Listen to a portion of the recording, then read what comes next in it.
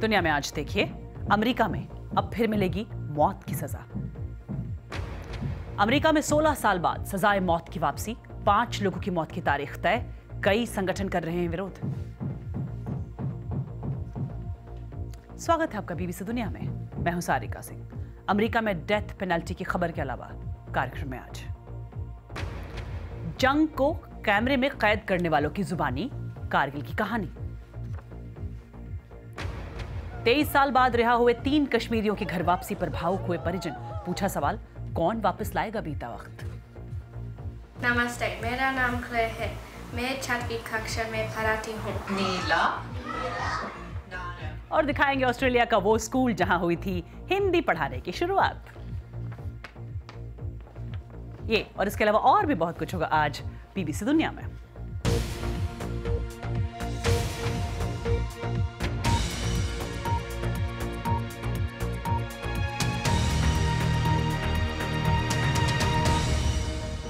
America संघीय स्तर पर मौत की सजा को फिर से बहाल कर रहा है। तकरीबन 16 साल पहले अनौपचारिक तौर पर यहाँ मौत की सजा निलंबित कर दी गई थी।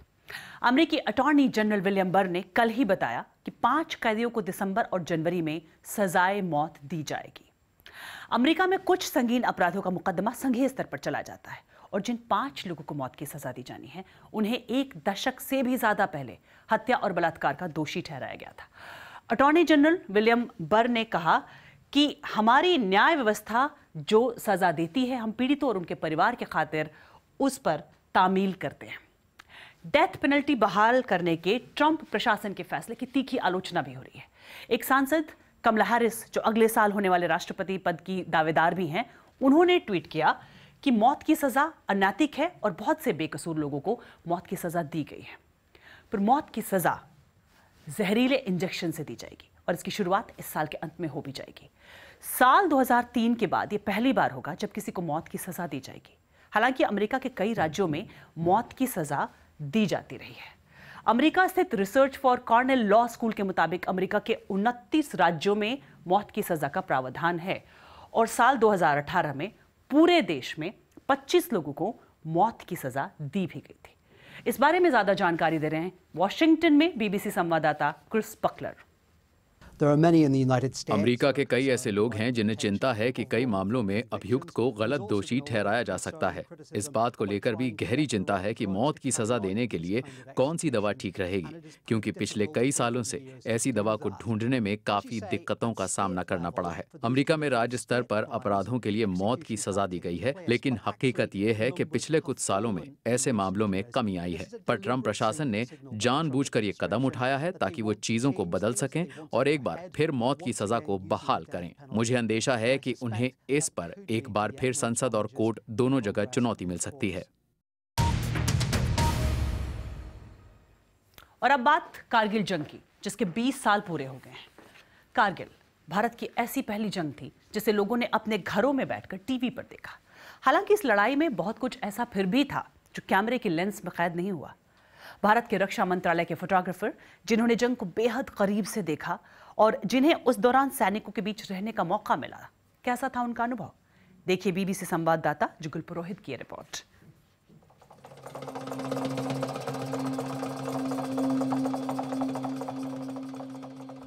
रक्षा मंत्रालय के बाहर ये लोग मंत्रालय के अपने फोटोग्राफर हैं जिन्होंने सैनिकों को जंग लड़ते अपनी आँखों से देखा है।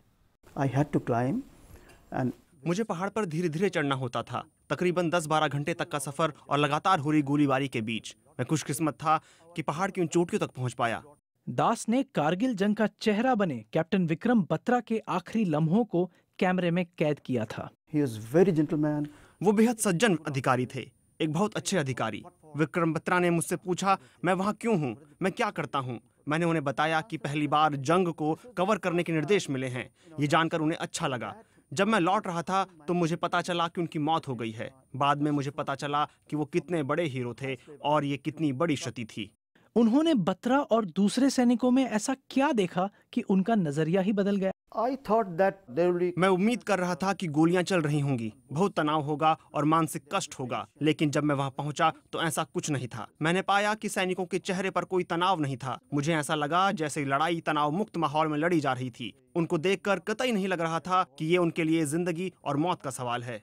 कारगिल की जंग का एक सबसे विवादित वाक्य था पाकिस्तान का अपने सैनिकों के शव लेने से इनकार करना। दास बताते हैं कि ये मामला कैसे सुलझा। They fought each other with hand to hand. वे आमने सामने लड़े। इसीलिए जब उनकी मौत हुई तो उन्हें सम्मान देने के लिए हमारे सैनिकों ने उन्हें दफन किया। इसने हमारी सोच और सभ्यता को दिखाया कि भले ही वे हमारे दुश्मन हैं लेकिन वो भी इंसान हैं। दास के सहयोगी मैत्रा थल सेना और वायुसेना प्रमुख के साथ अग्रिम मोर्चों पर गए थे। उन्हें अच्छी तरह याद है कि वो दोनों सैनिकों को अपनी बातों से कैसे प्रेरित करते थे। चीफ मार्शल टिप्सनिस का भी जो है खुद फ्लाई करते थे हेलीकॉप्टर। डिफ़िकल्ट टेरेन में वॉर जोन में एयरफोर्स पायलट्स के लिए मैन के लिए जो वहाँ पे मौजूद थे कि एक चीफ खुद चला रहे हैं, उनका भी एक हौसला बुलंद करना। जल मलिक का भाव हमेशा वो स्माइलिंग फेस में रहते थे। सोल्जर के लिए एक बहुत बड़ा चीज़ है आर्मी चीफ से मिलना और उनसे ये गिफ्ट लेना, ये बहुत बड़ा उनके लिए हौसला है।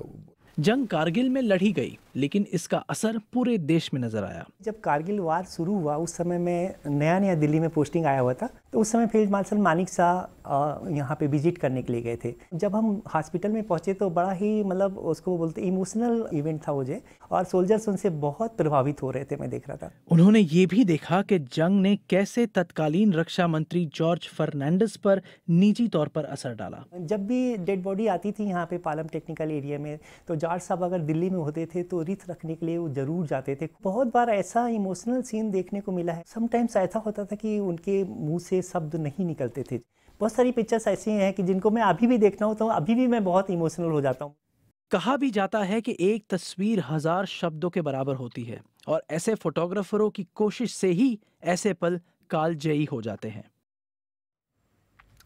साल उन्नीस सौ छियानवे में दिल्ली और राजस्थान में हुए बम धमाकों के आरोप में गिरफ्तारी के 23 साल बाद मोहम्मद अली भट्ट, लतीफ वाजा और मिर्ज़ा निसार को सबूत ना होने की वजह से रिहा कर दिया गया। ये लोग जब वापस पहुँचे तो इनकी दुनिया ही बदल गई थी। देखिए कश्मीर से बीबीसी संवाददाता रियाज मसरूज की रिपोर्ट।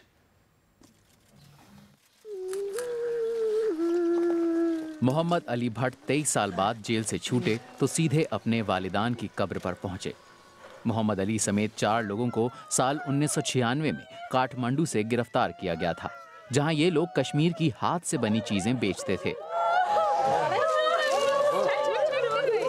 तो मैं किस मुँह से गया उस पर? मैं जानता हूँ।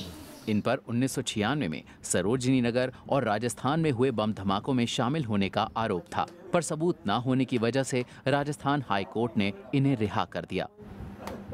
अली के घर पहुँचने पर मिठाइयाँ बटी। तेईस सालों में अली ने बहुत कुछ खोया। निसार अपने कई रिश्तेदारों को पहचान नहीं पाते।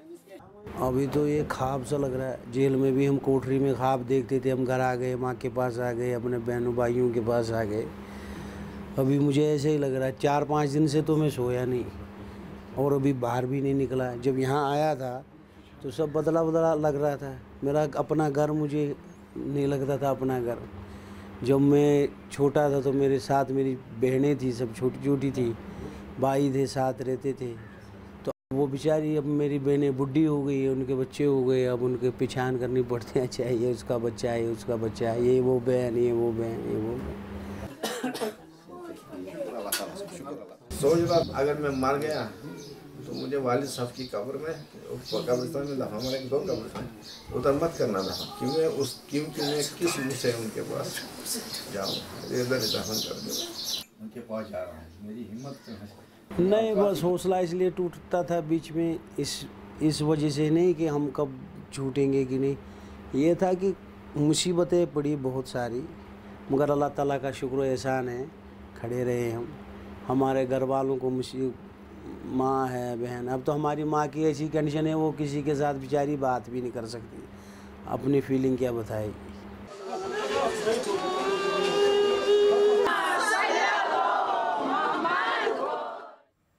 इन जैसे कई लोग अभी भी सालों से जेल में बंद हैं और बेकसूर साबित होने के इंतज़ार में हैं। और ब्रेक के बाद आपको ले चलेंगे। ऑस्ट्रेलिया में हिंदी पढ़ाने वाले पहले स्कूल में। एक ब्रेक के बाद।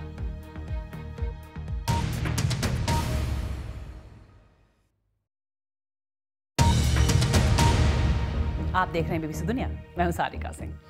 स्कूल की पढ़ाई या परीक्षा खत्म होने पर छात्र पार्टी करते हैं। अमेरिका में ये पार्टियाँ प्रॉम के नाम से मशहूर हैं, पर अब ब्रिटेन के छात्रों के बीच भी प्रॉम पॉपुलर हो गया है।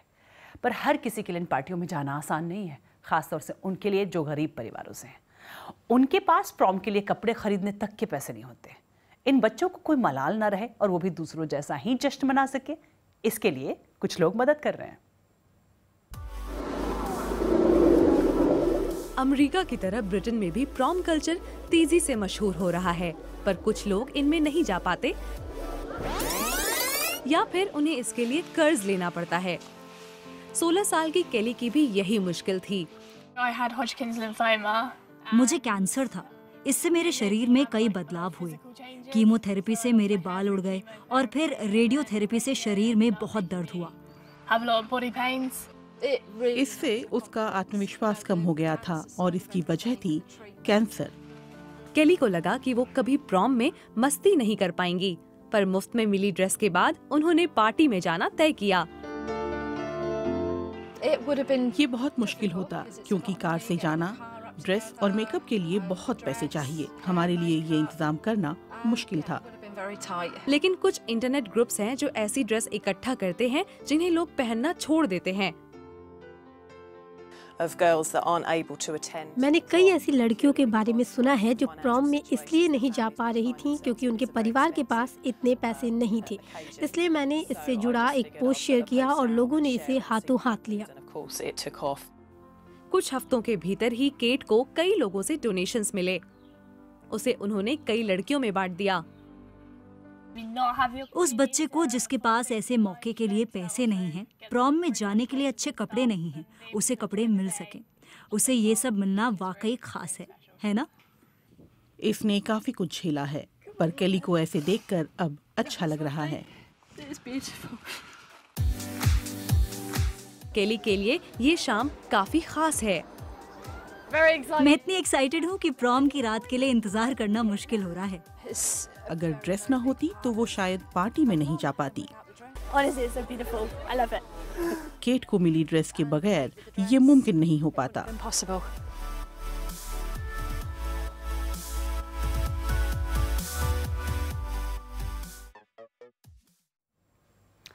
और हिंदी भारत के साथ दुनिया के कई हिस्सों में बोली और सिखाई जाती है ऑस्ट्रेलिया में भी भारतीय मूल के कई लोग रहते हैं वहाँ हिंदी सिखाने की शुरुआत की एक स्कूल ने जिसने साल उन्नीस सौ छियानवे से इसे अपने पाठ्यक्रम का हिस्सा बनाया। सिडनी के वेस्ट राइट स्कूल की शुरुआत के बाद कई दूसरे स्कूलों ने भी हिंदी पढ़ाना शुरू किया। देखिए सिडनी से पल्लवी जैन की रिपोर्ट। होली आई होली आई होली रे। रंग लगाओ खुशी मनाओ आई होली रे। नमस्ते मेरा नाम विलियम है। मैं तीसरी कक्षा में पढ़ता हूँ। नमस्ते मेरा नाम जैक्सन है। मैं छठी कक्षा में पढ़ता हूँ। मेरा नाम खेसी है। मैं चौथे कक्षा में पढ़ती हूँ। नमस्ते मेरा नाम क्ले है। मैं छठी कक्षा में पढ़ाती हूँ। हरा नीला नारंगी भूरा पीला। We decided in 1990. हमने 1996 में हिंदी पढ़ाना शुरू किया। क्योंकि हमारा स्कूल मल्टीकल्चरल है जहाँ दूसरे देशों से आए बच्चे भी पढ़ते हैं। एक दूसरे की संस्कृति के बारे में जानना बच्चों के लिए काफ़ी फ़ायदेमंद होगा। इससे वो सीख सकते हैं कि हिंदी भाषा में वाक्य कैसे बनाए जाते हैं। इससे उनकी भाषा में भी सुधार होगा। बच्चे एक दूसरे की संस्कृति का आदर करते हैं और समझते हैं कि सभी इसी दुनिया के नागरिक हैं। मुझे रंगोली बनाना अच्छा लगता है। मुझे ताजमहल देखना है। मुझे इंडियन करना पसंद है। मैं कहूँगी मैं भाग्यशाली हूँ। यहाँ पे हमारे स्कूल की जो कम्युनिटी है, बहुत सपोर्टिव है और जो भी, जो बच्चे हमारे दूसरे देश से आए हुए हैं, उनको हिंदी पढ़ना बहुत अच्छा लगता है। सबसे उनको, सबसे ज़्यादा पसंद है बॉलीवुड। तो यहाँ पे हमारे स्कूल में हम लोग पाँच बॉलीवुड डिस्को कर चुके हैं और उसके कारण लाइक पेरेंट्स भी, बच्चे भी बहुत खुश हैं उससे।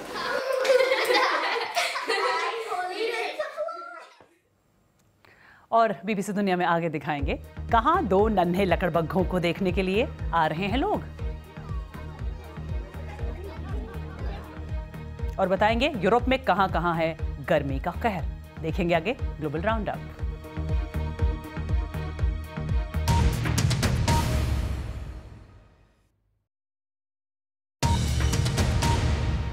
आप देख रहे हैं बीबीसी दुनिया, मैं हूँ सारिका सिंह। और अब वक्त है ग्लोबल राउंड अप का और पहली खबर ईरान से। ईरान ने पनामा के तेल टैंकर के साथ पकड़े गए 12 भारतीयों में से 9 को छोड़ दिया है। ये जानकारी दी है भारतीय विदेश मंत्रालय ने। इस तेल टैंकर को ईरान ने दो हफ़्ते पहले हॉर्मूज की खाड़ी में अपने कब्जे में लिया था। ईरान का आरोप है कि टैंकर कच्चे तेल की तस्करी कर रहा था। उत्तर कोरिया ने कहा है कि कल किए गए मिसाइल परीक्षण दक्षिण कोरिया के लिए चेतावनी है। उत्तर कोरिया ने अपने पड़ोसी देश पर दोहरा रवैया अपनाने का आरोप लगाया। मिसाइल परीक्षण की तस्वीरें जारी करते हुए उत्तर कोरिया ने कहा कि एक तरफ़ दक्षिण कोरिया शांति की बात कर रहा है तो दूसरी तरफ़ अमेरिका के साथ साझा सैन्य अभ्यास कर रहा है। हांगकांग में गणतंत्र समर्थक प्रदर्शनकारी आज वहाँ के अंतर्राष्ट्रीय एयरपोर्ट के सामने प्रदर्शन कर रहे हैं। प्रदर्शन इसलिए ताकि विदेशों से आने वाले यात्रियों का ध्यान खींच सकें। प्रदर्शनों में एयरपोर्ट और विमानन कंपनियों के कर्मचारी भी हिस्सा ले रहे। हैं हांगकांग में बीते कई सप्ताह से विवादित प्रत्यर्पण बिल का विरोध हो रहा है। चीन सरकार का कहना है कि अमेरिकी कुरियर कंपनी फेडेक्स ने अवैध रूप से ख्वावे के पते पर आने वाले सौ से अधिक पैकेज रोक रखे हैं। हाल में अमेरिका ने ख्वावे के बनाए सामान के इस्तेमाल पर रोक लगाई थी। फेडेक्स ने इस मामले में अब तक कोई प्रतिक्रिया नहीं दी है। चीनी विदेश मंत्रालय के प्रवक्ता ने क्या कहा? सुनिए। जाँच में पता चला है कि ख्वावे के 100 से अधिक पैकेज फेडेक्स ने रोक रखे हैं। कंपनी कई और डीएमओ का भी उल्लंघन कर रही है। मुझे लगता है कि इस मामले में व्यापक और निष्पक्ष तरीके से जाँच जारी रहेगी। और कंपनी के साथ क्या होगा ये जाँच के नतीजों पर निर्भर करेगा। और इसके साथ ही चर्चा में है अमरीकी रैपर रॉकी जिन्हें लेकर अमरीका और स्वीडन के बीच तनाव पैदा हो गया है। एक व्यक्ति को पीटने के आरोप में singer S A P Rocky को स्टॉकहोम में हिरासत में लिया गया। अमेरिकी राष्ट्रपति डोनाल्ड ट्रंप ने उन्हें जल्द रिहा करने की मांग की और कहा, स्वीडन अफ्रीकी अमरीकियों की उम्मीदों पर खरा नहीं उतर रहा। यूरोप के कई देशों में गर्मी का कहर जारी है। फ्रांस में कल पारा बयालीस दशमलव छह डिग्री सेल्सियस तक पहुँच गया तो जर्मनी में पारा इकतालीस दशमलव पाँच डिग्री के आसपास रहा। ब्रिटेन में लोग पार्कों में लगे फव्वारों में ठंडे पानी में नहाते दिखे। वहीं बुल्गारिया में बड़ी संख्या में लोग गर्मी से बचने के लिए मड बाथ लेने पहुँचे। मैक्सिको के चापुल्चा पेक चिड़ियाघर में दो नन्हे मेहमान आए हैं। ये हैं लकड़बग्गे के दो बच्चे, मकेना और ओमेंदी, जो इसी साल अप्रैल में पैदा हुए थे। ये दोनों लोगों के बीच में काफ़ी पॉपुलर भी हो रहे हैं। और आप मुझे भी ट्वीट कर सकते हैं एट बीबीसी सारिका पर। कार्यक्रम के बारे में फीडबैक दे सकते हैं। बीबीसी दुनिया में, फ़िलहाल इतना है।